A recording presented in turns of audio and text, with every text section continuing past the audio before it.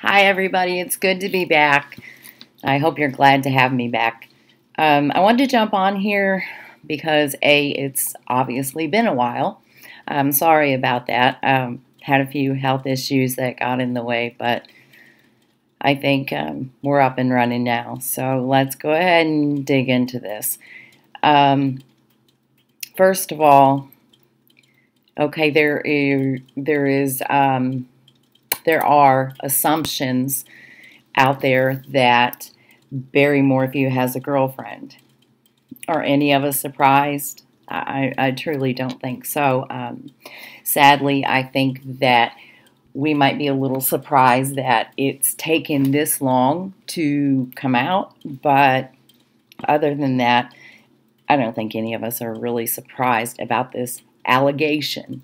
Now, let's keep reminding ourselves that this is an allegation. Now, I don't want to say her exact name on here. I'm sure that most of you are very well aware of it. Um, I'm going to try to put a picture up right here. And then I will probably just refer to her as Show or Show Show. So let's get into talking about Show Show. It's now I've done a lot of digging on Show Show. So if you hear my papers flipping, or God forbid I have to um, look down to read, I'm awake. I'm just I'm just reading to go over to make sure I don't give you any wrong information. So Show Show, Show Show will be how old? Let's see. Show Show will be let's see, what, 52? 50, 51 here on the 3rd of March. Uh, now, her parents, I don't know if she was born in California, but as a young child, she's obviously lived in California at one time. Now, I don't want to get into too much, you know, about her life um, that doesn't really pertain to much of this um, unless I'm trying to show exactly how these birds of a feather flock together. Now, as far as I understand, Shosho is the friend of GD, Mr. Davis is the cleaning lady. Her friend is the cleaning lady of Mr. Davis. Or I've also heard from a very, very strong source that I really tend to believe that she was the Morphew's cleaning lady. Either one a little too close for comfort. So then, of course, if this is the case, it makes you wonder how long has this been going on? And did this play a role in the monetary issues that I think have also been the main catalyst in this probable case against Barry Morphew. Of course, he's innocent until he has the cuffs on him and in jail. So, like I said, it's all alleged. But Shosho was either the housekeeper for the Morphews or her friend was the housekeeper of GD. Now, she has a nursing background. It shows that her nursing certifications are expired. There is one, a uh, practical nurse, that doesn't show it's expired. So I guess there's a possibility that she could be working as a nurse. I'm not sure. But I also read on Reddit. If you guys want to go over there and take a look and read it for yourself, a friend that was speaking out for let, let me make sure I get this straight so it's not too confusing. A friend was speaking out, so her friend didn't have to on Reddit in doing it for her, and said that Barry Morphew is now taking Shosho to church with him, to the Morphews church, where his wife, less than a year ago, went and prayed with him. That's pretty disgusting. You know, I hope it's not true, but I can't say that it's not. And like I said, the other information that I have gotten comes from a very, very, very reputable source. Now, Shosho also has a little bit of mm, a criminal background, I guess we shall say. She not only has a criminal background and was charged with something, I might go into a few of those details, but not many. Um, she was charged with something and broke her viol- or violated her and broke her probation and got in trouble again. Hmm, it's starting to seem like I said in the beginning, birds of a feather flock together, and it seems like all of them surrounding all the people that are surrounding this man are either getting in trouble, have been in trouble. They just don't seem to be maybe the best character of people, to put it nicely, I guess. Now, there are a couple of things that I wanted to I wanted to say about it and also about her as far as her charges and she was also made to pay back her ex-fiance for stealing from him allegedly and breaking into his house. Now, like I said, that came from a very, very, very good source. So I'm wondering if that could have possibly been the trouble that Shosho got into. Um, it's probably the trouble that Shosho got into and then broke her probation and was in trouble again. But there is also a civil case that was from a civil judgment, anyway, and it was over a hundred thousand dollars. So, um, like I said, this is all I'm going to say alleged.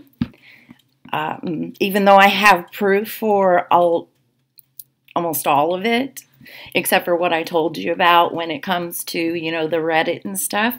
But I just want to make sure that everyone knows that this is all alleged just to keep me out of trouble.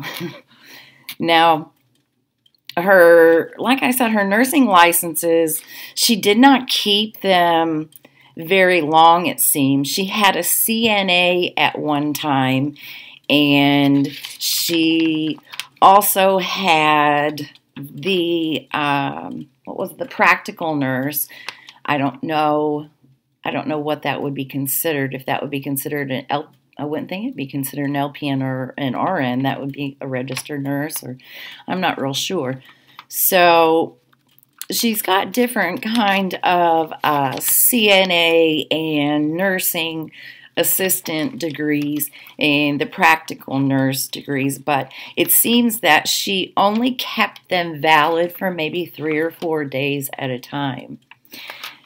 Now, one of the things that I want to get to is the fact that she has lived, I don't necessarily want to say in the area, but she has lived in you know, some of the states that are within the vicinity of Colorado.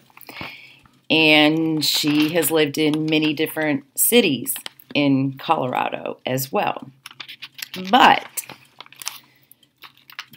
the home that is showing to be a property that she has possessed at one time, but it doesn't show who the current and past owners are like it normally does. But it shows the past owner like it normally does. But the home that she had, I'm assuming, bought when she was married to one of her many husbands, I guess she would say. She has multiple I think it was four last names I counted, unless one of them was a misspelling or maybe possibly someone tried to go by an alias. I don't know. Um, probably more like a misspelling, I'm hoping. Uh, but it went on to show the different names. Well, then on the home that her and her ex husband married, it was a decent, nice, middle class home that was, I can't remember the exact price of it. I'm not sure that I wrote it down. It was a hundred and maybe, was it $30,000? Somewhere in there. And then the next thing you know, right around the time that she is associated with Barry, there is a cash purchase made of a 400 and was it 54,000 145,000 dollar home. So you're talking about over $400,000 that's crazy so my question is let me 425,000 now it shows the past owner and it shows this as being one of her assets. But there is a cash purchase in October of 2020. Well, that sure makes me wonder because did she sell that home since it's not listing any of it's not listing the current owner and it's not listing the previous owners except for the one man. And that name that's up there is usually the very last owner. So she also had different addresses during the time that it was owned during those dates. So I'm not exactly sure how she went from such a modest middle class home to a $425,000 home. And also, was it her cash purchase or did someone purchase it with cash from her?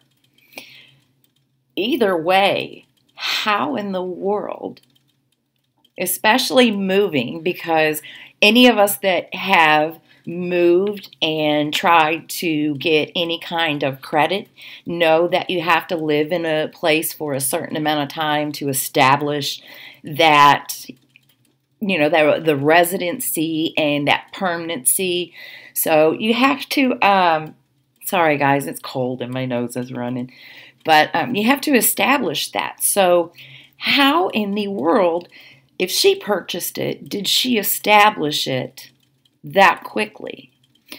And in in the um, in the area of Colorado that she bought in, established residency that long, and also, if not, if that is her home, how in the world did she get that kind of cash and to make a purchase like that unless god forbid she recently lost a loved one And I hope she didn't lose a loved one. I mean, that'd be terrible. And it would also make me think, oh, is is this becoming an MO with someone we know?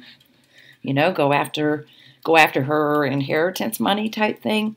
So I think there's a lot to learn about Shosho, and I think there's a lot more digging to do.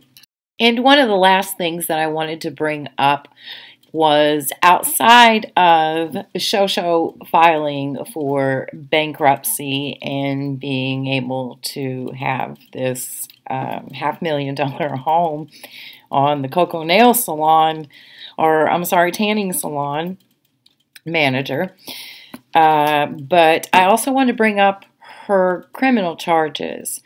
Now, Shosho also has a civil case that she was ruled against for over $100,000 allegedly.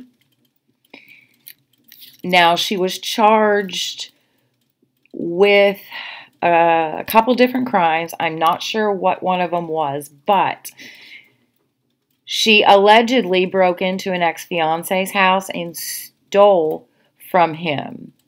So she had done something, I'm assuming that, allegedly, and she was put on probation or parole, and then she broke that. So she was charged again. And allegedly, even though I've got proof, allegedly. So it looks to me as if Shosho, birds of a feather, flock together, considering she was either the Morphews or GD's, or her friend was GD's housekeeper, or she was the Morphews housekeeper. Either way, it seems that she ran in the same circles, you know, the same circles of the people that have either been in some kind of legal trouble surrounding Barry now that this has been going on, or the type of people that have that sort of character that would do that. And it goes to show what kind of character, even though we had all kind of assumed, that BM has like I said, I don't feel comfortable putting her picture on here, but there is there are a few more things, but I think I'm going to hold off on saying them just to make sure that um, you know I'm I'm checking it pretty good regardless. So I have more. I just don't want to say a whole big ton of it. But also, one more thing that I wanted to throw out there is that she is friends with the pastor's wife at the local church. So, if any of you are possibly doubting what was said on Reddit, then um, I don't know. Maybe look into it a little bit more. But here we go again. I mean, it's been quiet too long. Everyone should have known that something was going on behind the scenes. I want to let you guys know that I am hoping to do a live. I know I said that before, but things came up, guys. I got sick and had to have surgery. But there's also a case that I have been very interested in. I think I mentioned it before. A, grand, a good friend of mine's grandmother had gone missing many years ago. So I've been helping her just try and put some things together with that. And I will be making a video about that because we have something really, really exciting coming up with it. Only the snowstorm has kind of set us back that we've had here. I hope everybody is safe, warm, and I hope everyone is getting their electricity turned back on. See you guys. Jill, the private investigator.